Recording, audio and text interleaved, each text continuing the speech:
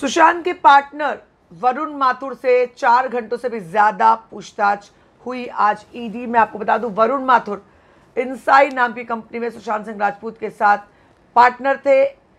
Partnership होने के बाद इंसेप्शन के बाद एक हफ़्ते बाद आ, कुछ महीनों तक के बाद वरुण माथुर ने कंपनी छोड़ दी थी जो यहाँ तक उन्होंने बताया।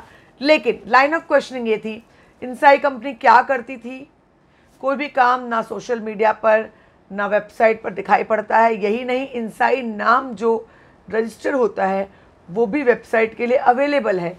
तो लाइन ऑफ़ क्वेश्चनिंग ये की गई कि आखिर कंपनी क्या करती थी, कैसे कामकाज चला, सुशांत तक कैसे अप्रोच किया गया, सुशांत कैसे सीन में आया, क्यों सुशांत को अप्रोच किया गया, और उसके बाद कंपनी में क्या कुछ भी कामकाज हुआ है, बाद में वरुण माथुर ने कंपनी क्यों छोड़ी है, और सुशांत और वरुण का पार्टनरशिप कितने दिनों तक चला क्यों सुशांत ने बाद में सुशांत ने भी कंपनी छोड़ दी?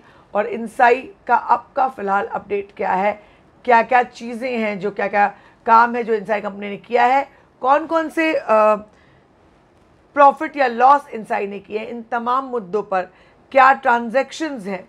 वो, वरुण माथुर क्या ट्रांजैक्शंस है? ये भी अंडर द लेंस लाया गया है। सुशांत सिंह राजपूत का बिज़नेस पार्टनर, उससे बात की गई। फोकस जो था वो इंसेप्शन था सुशांत सिंह राजपूत की कंपनी का। तो कहीं ना कहीं एक बड़ी खबर, सुशांत सिंह राजपूत के पार्टनर वरुण माथुर से से जो इंसाई में उनका पार्टनर था, उससे ईडी ने पूछताछ की चार घंटों से ज़्यादा पूछताछ चली है। उसके सारे ट्रांजैक्शंस को सीबीआई बहुत क्लोजली मॉनिटर कर रही है। इंसेप्शन के बारे में पूरी बातचीत कर रही है। लगातार बन रहे हैं हमारे साथ, खबरों का सिलसिला जारी है।